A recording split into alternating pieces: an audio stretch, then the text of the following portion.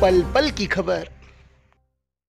Navagarh police ने नगर सैनिक रज्जू प्रसाद तिवारी की धारदार हत्या की बड़ी वारदात की गुत्थी को 48 घंटे में सुलझा लिया है।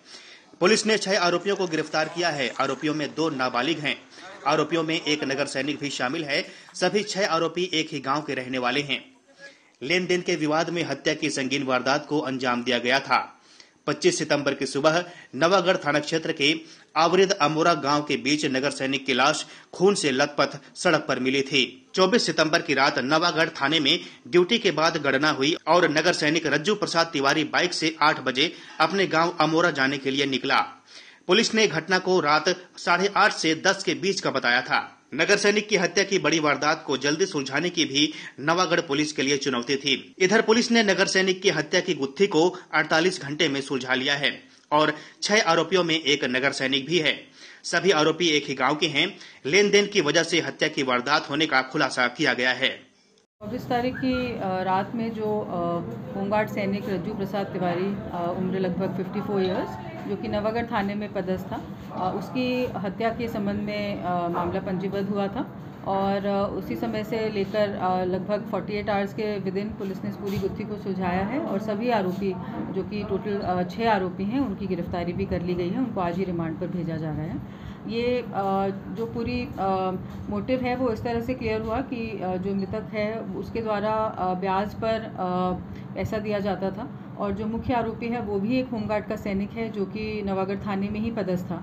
और उसके ऊपर करीब दस लाख के आसपास की लेनदारी इसके बही खाते का जो हिसाब जब्ती किया गया है, उसमें दिखी है।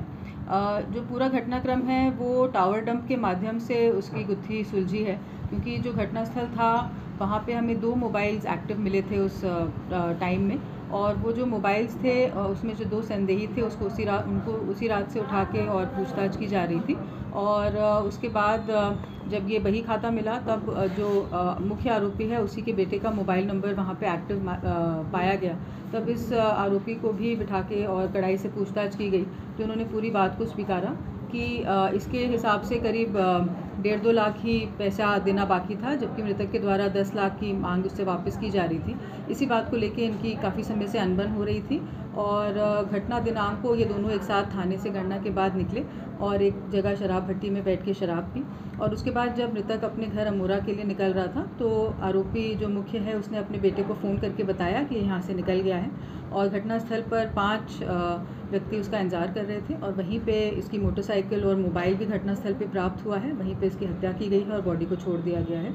और उसके बाद जो मुख्य आरोपी है जिसने इस पूरी घटनाक्रम को रचा उसने वो वो भी घटनास्थल पे पहुँचा और तीन लोग एक मोटरसाइकिल से और तीन लोग एक दूसरी मोटरसाइकिल से फिर वापस गए हैं। सभी मोटरसाइकिल्स को भी जब्त कर लिया गया है और बाकी जो जितने भी सबूत हैं उसको हम लोग जब्त कर आरोपी टोटल छः हैं और सभी को गिरफ़्तार करके आज ही रिमांड पर भेजा जा रहा है।